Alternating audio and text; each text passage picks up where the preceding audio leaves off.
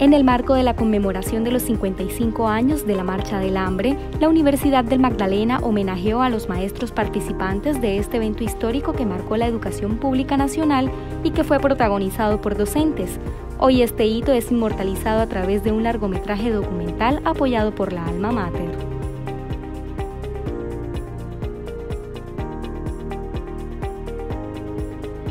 Bueno, me parece que esta historia es importante porque se rescata una memoria oculta, una memoria olvidada, invisibilizada, una memoria que nos confronta con el verdadero valor de la lucha. Así que esto es una forma también de decirles gracias. Gracias por esa lucha, gracias por, por dignificar la labor que, insisto, se dice que es la más importante, pero es la que menos importancia se les da. La sala de proyección La Langosta Azul fue el epicentro del acto de reconocimiento en el que estuvieron maestros marchantes y sus familiares, el equipo técnico de la producción y personal directivo de la institución, y donde se observaron las primeras imágenes de la película coproducida entre Unimagdalena y Ojo Agua Cine desde hace tres años. La Marcha del Hambre fue un fenómeno en Colombia.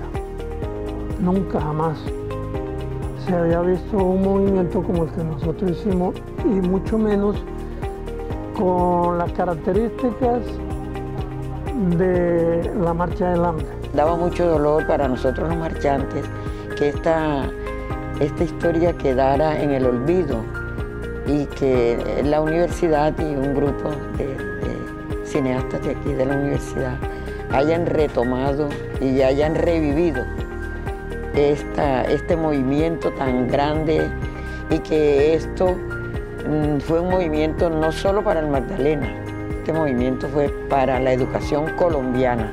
Ahora se va a vivir, va a revivir la marcha, porque va a ser conocida. ¿Por qué va a ser conocida? Con esta película que van a presentar este grupo.